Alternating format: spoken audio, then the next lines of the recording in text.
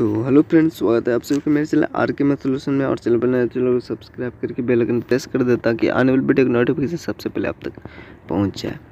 यहाँ पे ये जो सुगम विज्ञान का जो ये आपका क्लास है ना, ये काफ़ी समय के बाद वीडियो आ रहा है, ठीक है? बट यहाँ पर टाइम नहीं था, इसलिए ऐसा हुआ। तो अभी हमने इससे पहले जो था अति लघु वो देख चुके हैं, ये सेवन चैप्टर है, ठीक है? तो यहाँ पे लघु उत्तरीय देखेंगे, साथ जो रीडिंग का जो सीरीज़ है, वहाँ पे भी हमने कुछ एक ही पार्ट बनाया, ठीक है? तो उसको भी अब हम लोग रेगुलर कर लेंगे। तो चलिए, यहाँ पे हम लोग लघु उत्तरीय प्रश्न देखते हैं। और वीडियो अच्छा लगे तो लाइक कमेंट शेयर कर दीजिएगा। तो यहाँ पर देखिए, पहला नंबर में क्वेश्चन में आपका कह रहा है, परिस्थितिक तंत्र की परिभाषा देना, ठीक है?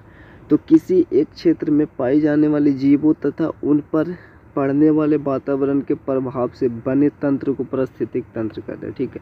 तो किसी कोई भी क्षेत्र में पाए जाने वाले जो जीव जंतु जो भी होते हैं और जो वातावरण वहाँ होता है, ठीक है? तो उनके प्रभाव से बने तंत्र को परिस्थितिक तंत्र कहते हैं। दूसरा में आपका क्वेश्चन है कि भारत को बहु जैव विविध राष्ट्र क्यों कहा जाता है? तो इसका आंसर होगा, भारत की भौगोलिक, यहाँ पे भौगोलिक तथा जलवायुगत कारकों में काफ़ी भिन्नता होने के कारण यहाँ पर प्रचुर जैव विविधता पाई जाती है, ठीक है? तो यहाँ पे भौगोलिक यानी जो आकृति है भारत की और तथा जो जलवायुगत कारक है, जैसे मौसम वगैरह, ये सब तो इनमें काफ़ी विभिन्नता है, ठीक है? तो यही कारण यहाँ पे प्रचुर जैव विविधता पाई जाती है। बहुत सारे जीव विभिन्न प्रकार के पाए जाते हैं जीव जंतु तो इस कारण इसे बहुजैव विविधता राष्ट्र कहा जाता है। और तीसरा में है कि वन को प्रकृति का फेफड़ा क्यों कहा जाता है? तो वन को प्रकृति का फेफड़ा क्यों कहा जाता है? वन कितना महत्वपूर्ण है हमारे जीवन में, ये तो आपको भी पता है। तो वनों के पेड़ पौधा प्रकाश संश्लेषण प्रक्रिया में कार्बन डाइऑक्साइड गैस ग्रहण करते हैं, ठीक है? तो वो जब प्रकाश संश्लेषण करते हैं, ठीक है, जब भोजन बनाते हैं तो वो कार्बन डाइऑक्साइड को ग्रहण करते हैं, ऑक्सीजन को छोड़ते हैं, ठीक है ना? जो कि हम लोग ऑक्सीजन को ग्रहण करते कार्बन डाइऑक्साइड को छोड़ते हैं। तो वो ग्रहण करते तथा ऑक्सीजन गैस को मुक्त करते हैं। इन ऑक्सीजन गैस को सभी जीव जीव श्वसन क्रिया में ग्रहण करते हैं, ठीक है? तो ये जो है, जो भी ऑक्सीजन है, वो सभी जीव श्वसन क्रिया में ग्रहण करते हैं, जब सांस लेते तो इसलिए वन को प्रकृति का फेफड़ा कहा जाता है। चौथा में है कि मरुभूमिकरण क्या है? तो उर्वरा भूमि के बंजर भूमि में परिणत होने की प्रक्रिया को हम लोग मरुभूमिकरण कहते हैं, ठीक है? तो बंजर भूमि को उर्वरा भूमि को बंजर भूमि में परिणत होने के यहाँ पे रेड डाटा बुक क्या है? तो रेड डाटा बुक यहाँ पे लाल किताब होता है, उसी को बोलते हैं। लेकिन ये है क्या? तो जो जीव लुप्त हो चुके हैं, ठीक है? जो जीव लुप्त हो गए यानी कि अब नहीं है इस दुनिया में, ठीक है? और या जो जीव लुप्त होने वाले हैं, या फिर जो खत्म होने के कगार पे हैं, उन सभी जीवों का उल्लेख एक विशेष प्रकार के लाल किताबों में किया गया जिसे रेड डाटा बुक कहते हैं, ठीक है?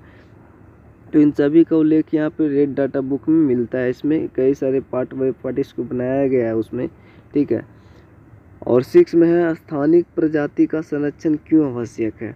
तो किसी स्थानिक विशेष में प्राकृतिक रूप में पाई जाने वाली प्रजाति को स्थानिक प्रजाति कहा जाता है। इनका संरक्षण आवश्यक है क्योंकि यह क्षेत्र विशेष में ही पाया जाता है, ठीक है? इसलिए इसका संरक्षण आवश्यक है क्योंकि एक क्षेत्र विशेष में एक ही मतलब कोई खास क्षेत्र में ये पाया जाता है। सतमा में प्राचीन गुफा आश्रयों का क्या महत्व है? तो इन गुफा का, इन गुफा आश्रय की दीवारों पर चित्रकारियों बनी है, ठीक है? जो गुफा होते थे, पहले प्राचीन में तो उन पे चित्रकारियाँ बनी होती है, जिनमें मनुष्यों को जंतुओं से लड़ाई करते, शिकार करते, नृत्य करते, हैं ना? डांस करते बाद यंत्र बजाते दर्शाया गया इन सबों में इन सबों से हमें प्राचीन कालीन प्रकृति मानव अंतर संबंधों की जानकारियाँ मिलती है। ठीक है तो इन सभी जो भी है हमें जो भी ये सब मिला इनसे प्राकृतिक मानव और उन, उन मतलब इन सबसे रिलेटेड हमें जानकारियाँ प्राप्त हुई कि वो लोग शिकार डांस है ना ये बाद यंत्र ये सब लड़ाई भी ये सब करते थे। आठ नंबर में है, वन अभ्यारण्य तथा वन तथा प्राणी उद्यान में अंतर बताया। ठीक है, आपने की बुक को अगर पढ़ा होगा तो ये पढ़ा था, प्राणी उद्यान क्या होता है और वन अभ्यारण्य क्या होता है।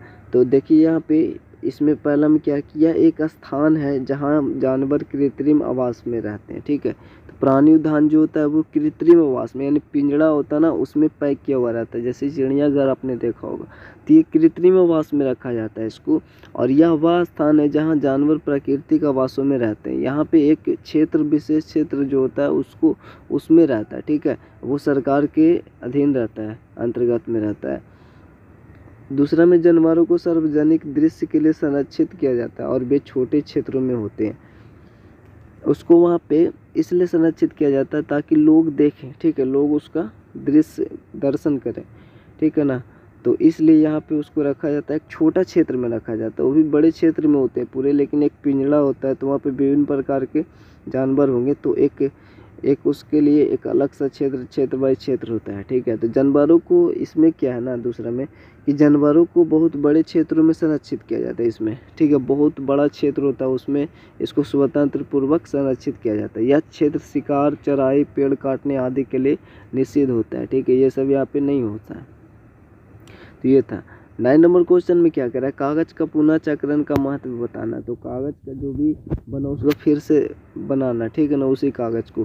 तो चूँकि कागज़ बनाने में काफ़ी पेड़ पौधे की कटाई की जाती है, जैसे देखिए, कागज़ का पुनः चक्र न की जाए तो यह कागज़ का कचरे के बड़े ढेरों में बदलकर ग्रीन हाउस गैस उत्सर्जन और प्रदूषण जैसी समस्याओं में योगदान देते हैं, ठीक है? ये हो सकता है या फिर ऐसा भी हम लोग बोल सकते हैं कि अगर कागज़ का पुनः ना हो तो पेड़ पौधे की जो होगा वो काफ़ी हद तक नुकसान हो सकता है, जिससे हमें मतलब हानि हो सकती है, ठीक है? ऐसा भी हो सकता है। तो यहाँ पे ऐसा हुआ है, और कागज़ के पुनः चक्रण से वृक्ष संरक्षण के अलावा कागज़ उत्पाद के दौरान खर्च होने वाले जल और ऊर्जा तथा रासायनिक पदार्थ को भी बचत होती, होगी, ठीक है ना?